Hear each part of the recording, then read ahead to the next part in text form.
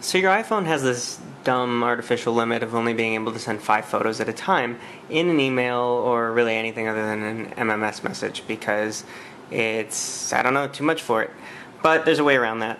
Um, if you're going in your photo library and you want to copy some photos, you'll notice that if you go one, two, three, four, five, you have all these options. But as soon as you hit the sixth one, copy goes away, and if you hit share, there's no email option. If you hit share with only five, you do get an email option.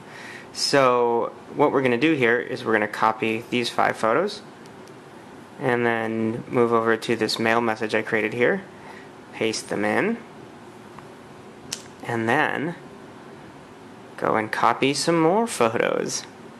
Because these four and then paste those in and now we have a total of nine photos in our email message so I'm just going to go ahead and send this to myself so you can see too many photos And there it goes.